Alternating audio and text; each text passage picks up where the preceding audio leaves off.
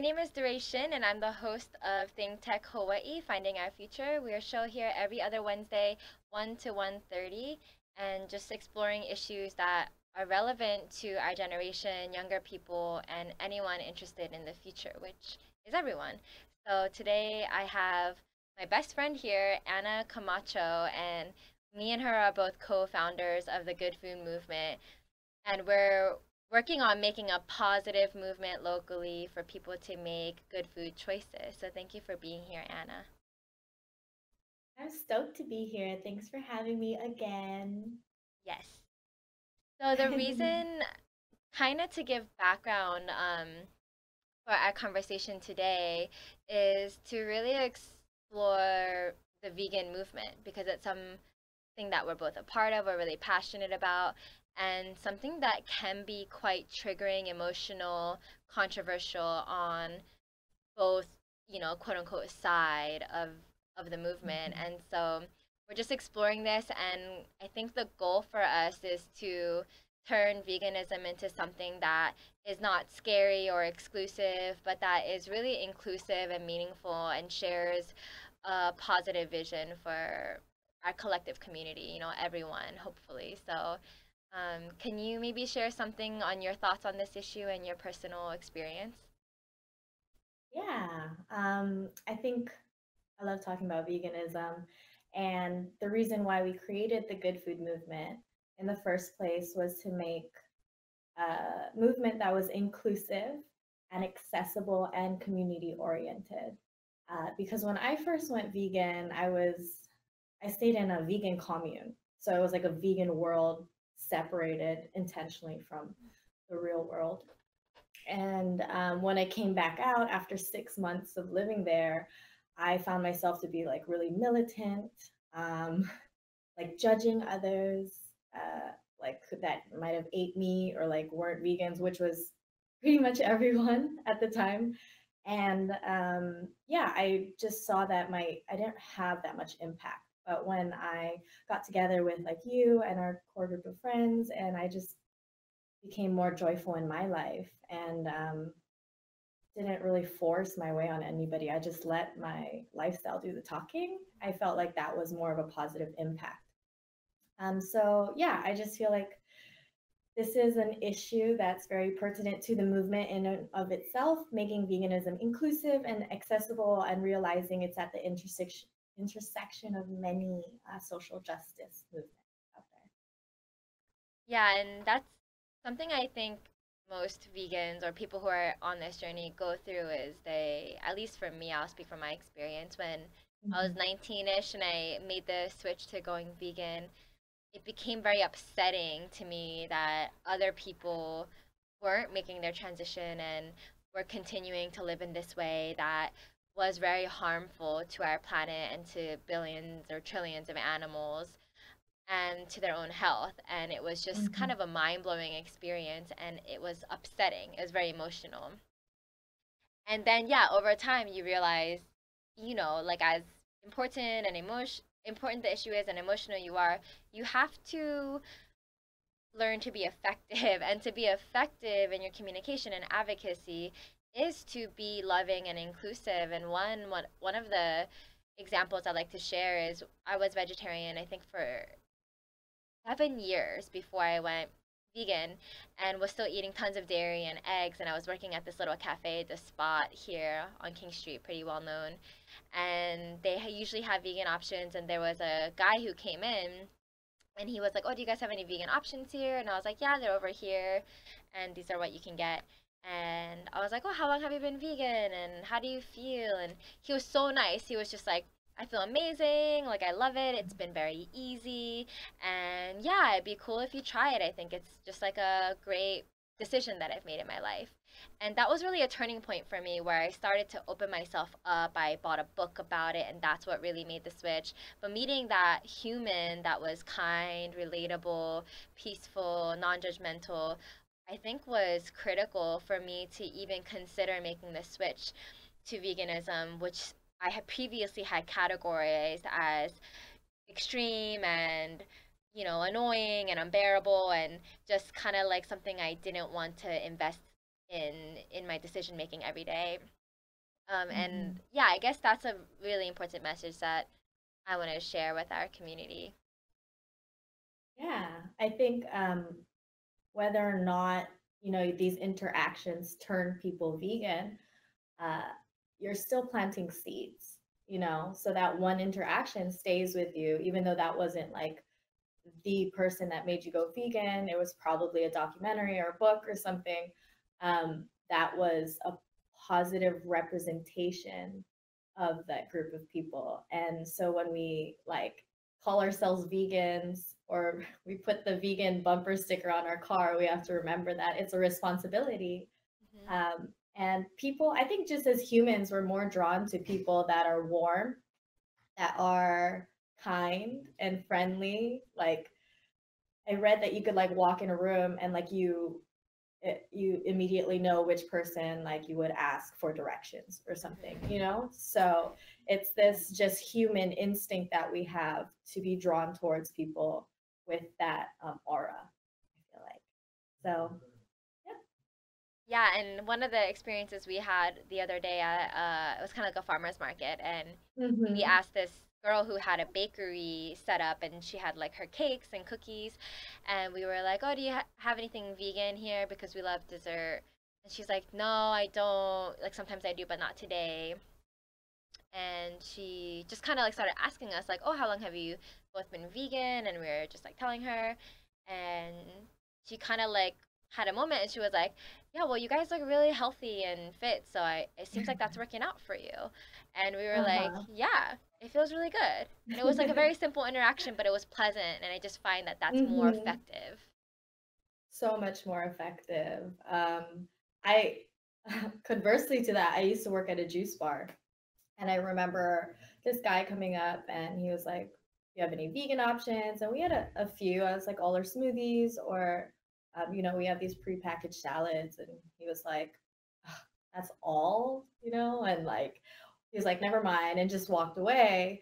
And for me, that was like, Wow, this person's like really rude. And like, the only thing I know about him, not even his name, is that he's vegan, you know? So that's like an association that you make with that kind of just energy, which is not everybody and it's not always fair. You know, he might have been having a bad day or whatever, but I just feel like if you're going to call yourself something, whether it's like vegan, I don't want to say veganism is a religion or Christian, that we do have a responsibility. Um, and I know like there's a lot of also just divisiveness in the movement in general. And it's important to remember that we're all on the same team, you know, like who gets the uh, call people vegan or not, or are you vegan enough? Or, you know, like I'm going to go on record and say that right now I'm not a perfect vegan, but I do my best and I still claim that because that is the that is the state of consciousness that um, that I identify with. Mhm. So yeah, I mean, you have an experience where online that that wasn't very pleasant with other vegans. Uh, do you want to share that? Yeah, and I think that is a an experience that kind of triggered this conversation is the Facebook, you know, the infamous Facebook argument. You know, we've all probably been involved in one in our lives at some point, and some people are really good at avoiding them, which I should probably get better at. But I, I posted something on my Facebook that was like, you know, I've been vegan for eight years and I would like the vegan concept to become more inclusive. And and I said most vegans I know slip up or cheat in certain situations like they're traveling and there are like none to very little options or they're at an event and there's free food that's already been ordered like they're not buying um, any animal products and there's nothing else for them to eat. And so i kind of shared that because it's representative of most people i know who are vegan and even if it's once or twice a year um, i don't think we need to hide around that and be afraid and and I kind of hmm ended it like, you know, let's just be inclusive.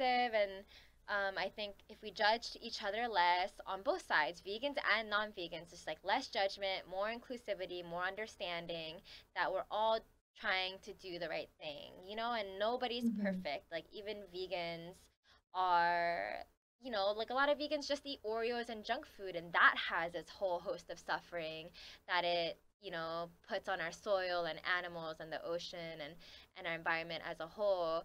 So we don't need to be like pointing fingers. So regardless, I put out a pretty positive post. Um, and then these vegans that I know just kind of came out in force and there and it was only a couple of them, but and there was, you know, like dozens of positive comments, but the Mhm. couple people that were the squeaky wheels and got most of my energetic attention were really just like pushing this um judgment. It was just like so ironic. They were just like Mhm. you're not vegan if you cheat, you know, like that's ridiculous and you know, like I can't believe you don't care about the animals and I was sharing with them like this nuance of like, you know, well if you don't buy it and that becomes food waste, like that's potentially more disrespectful to our food system and the animals. And they're like, "Oh, but you're eating it." And it just became a whole kind of like degenerated argument where it was just really like pointing fingers like you're not good enough. I'm more pure. You don't belong because you and whoever else you're talking about are not perfect, you know, and you should be more pure because this is a moral cause. And I think uh, most vegans go through a pure phase where they are really strong willed and they refuse to eat that stuff. And some situationally that I know, like, really go through phases of like, it was really hard when I was with my family because there was nothing else to eat and I felt the social pressure. And Mhm. whatever those nuances are, it's all very real. And we need to just accept that that exists and just like understand that, you know, we're all on the same side, whether you're perfectly vegan or you're close or you call yourself plant based or you're 99% vegetarian. Like, anyone who's on the spectrum of like trying to make a positive difference through their food choice based on the information they have and the circumstance they're in should be welcomed in to a movement that is we all have a shared vision of like peace and Mhm. nonviolence and and harmony with nature. Yeah. Um, so it was a very interesting and frustrating experience because I hate wasting energy um, arguing with people that are essentially we have the same vision and goals and we're fighting over semantics and situations and um, i find that to be a waste of time so i just wanted to like do this you know episode with you so we can just like talk about what this is and why people are always so like upset and triggered and how we get beyond that and be actually more Mhm. effective Yeah, absolutely. I think we have a shared vision, and maybe that, um, you know, whether vegan for the the animals or the health or moral, environmental, uh, they're they're they're all intertwining issues. So it, it is a waste of energy to to divide the movement, you know, because we're stronger together. So um, and it's a waste of time to also try and be perfect, you know if you drive a car or you enjoy fireworks, you are potentially, you know, um, participating in activities that use animal products. Um, so it's like, or use plastic bags. You know, these are these are everyday things that we can't get away from sometimes. Um, so I, I don't think it's about being perfect. I think it's about doing the best that we can, and we, you know, we definitely are. Um, and yeah i've i think uh i think at the same market that we were at um we were walking around and we have some vegan friends that are running a booth and i was eating the superfood ball and they're like doesn't that have honey in it I'm like, I'm like, yeah, but they use their honey, you know, from like this local um, beekeeper or whatever. And I'm just like, I just, at that point, I let things roll off, you know, it's just like not, it is a waste of energy, but I can kind of feel that judgment as well. So, Yeah. like oh yeah. you're not it- vegan enough right now. I like see it. Well, we're gonna go to break and then we can go into honey and all the little Okay. nuances and how we address that. okay. Hi, I'm Rusty Komori, host of Beyond the Lines. I have a TV show based on my book, which is also called Beyond the Lines, and it's about leadership, creating a superior culture of excellence, and building winning teams.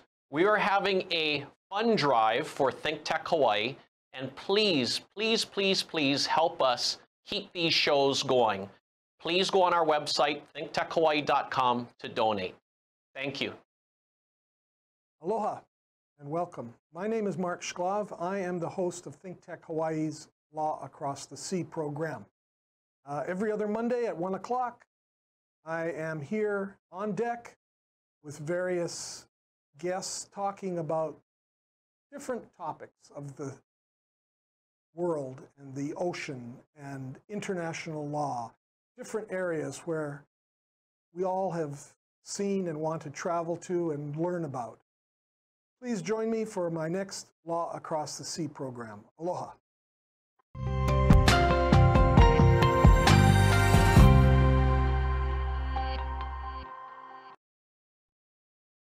Hi, I'm Doorae Shin, and I'm here today with Anna Camacho for the show Finding Our Future on Think Tech Hawaii every other Wednesday, 1 to 1.30 p.m.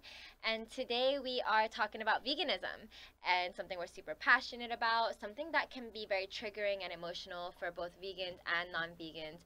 And we're exploring this idea of transitioning veganism from something that becomes scary and judgmental and purist to something that's more inclusive and loving and understanding, which I think are really pivotal values of the intent of the vegan movement in the first place, and starting to include humans in the judge non-judgment and non-violence that the uh, definition of veganism espouses. So I'm here with Anna. Thank you, Anna, for being here.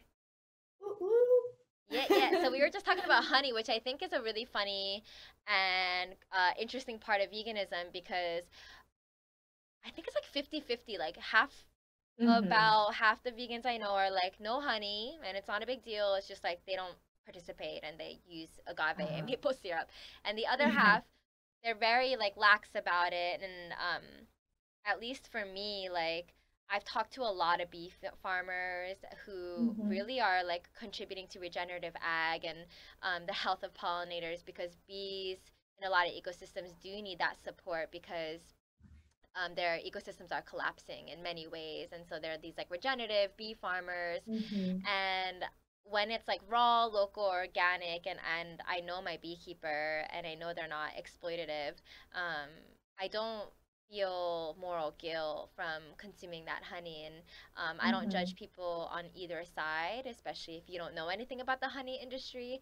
But yeah, it's just funny how it becomes like, well, I'm a vegan that doesn't eat honey, and then there's vegans who are like, well, I'm a vegan that does yeah. eat honey, and it's just like you know, I'm just like, let's just accept everyone. If you want to teach people about the honey industry, like go for mm-hmm. it. But like, we don't need to like give each other weird vibes and judge each other as we're mm-hmm. working out all the nuances and various issues that veganism includes.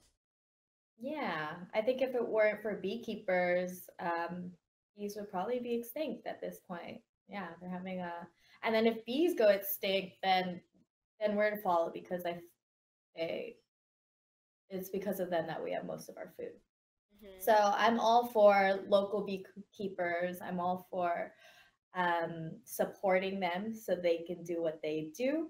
Uh, because, you know, if you get stuck in a little bubble where it's like, oh, it's the animals and um, it, because honey is an animal product, therefore I just reject it. It's like an opportunity to learn more about the industry, which I'm not an expert on, so I won't speak. But I have beekeeper friends that have told me that they help the bees grow in these colonies get strong enough so these predator beetles can't come in their hives and then they put them back out in the wild and for that they are gifted with honey and honeycombs and by selling it um, they get to continue what they're doing so it's a you know there are multiple facets to veganism and there are multiple you know faces um. Of helping animals, whether or not you cut out all animal products and byproducts. I think it's important to honor and respect yeah. and extend that compassion out, not just for animals, but um, humans, which are animals, but um, as well. So we're all in the same boat for sure. Yeah, and the definition of veganism kind of is laid out as a um, somebody who is vegan abstains from Mhm. consuming or purchasing or using animal products like leather and you know anything that's tested or um, kills animals and you know i think there's an opportunity here to redefine and adjust kind of that definition because we we have found a lot of nuance in um, the vegan movement and vegan consciousness you know and like honey is one example where you know you can actually rebuild um, ecosystems for bees and help their populations and not be extractive. Um, and of course mass produced honey and mass produced anything even apples are going to be extremely harmful to the plants and soil and the animals. Um, and so we i just think you know it, it should be adjusted to talk about nonviolence you know and if something Mhm. is nonviolent and regenerative from a systems level you know i think that that would qualify as vegan and and there's an opportunity here for us to have a really cool conversation about um, Mhm. what it means to be a conscious eater and i think with animals it's a little bit more black and white it's like you kill an animal and you don't have to you know and we can Mhm. really protect a lot of animals from being exploited commodified bred and essentially um, stripped of their freedom as a as an animal um, Mhm. and really address that issue. Um, and so i think with that it's kind of like black and white but then with other things it's like nuance like i had an ex-boyfriend who had a pet chicken. Her name was domi and um, she was not caged and she was free to move about the neighborhood. And she always came back and he fed her organic oats. And she got to an age where she was laying eggs. And you know they're not fertilized. She's just like giving them their extra and Mhm. she's not in a cage she's not exploited at all she's free to leave and never come back and i did try the egg and i didn't love it because i haven't had eggs in a long time but it didn't feel like a transgression to me like i didn't feel like i no longer was vegan Mhm. because there's nuance and i think it's just Yeah. important for people to realize and even if you just buy something and it's just like an egregious act of non-veganism you don't get kicked out of the club forever and have to start over the next day like i've only been vegan for one day even though before that i was vegan for 20 years like you're allowed to make a mistake you know and i just think it's important to be forgiving and um, just say like yeah, Yeah. we're it's, we're still in the same movement we're still allies and like let's do this Mhm. together Yeah, absolutely. I think that you, I mean, you bring up a really good point. Life is, life looks very different for each of us, and we all have our own stories and contexts. And, you know, I- mean, there's an issue of accessibility and, you know, food deserts too. So who are, who am I to say, you know, from this privileged standpoint that like someone's not vegan enough if they're doing their best? Um, you know, like in a perfect world, we could have everybody vegan. Um, but that would look like you know it would look like a hom- homogenous world and that's boring and that would um you know it would discount and silence a lot of voices of like color and a lot of like women's voices too who like most of the movement is made up of women so i think that um, it's important to look through all of these lenses and you know if you really want to know why somebody's doing something um, then ask questions like people don't care how much you know until they know how much you care you Mhm. know and Yeah. so they like it's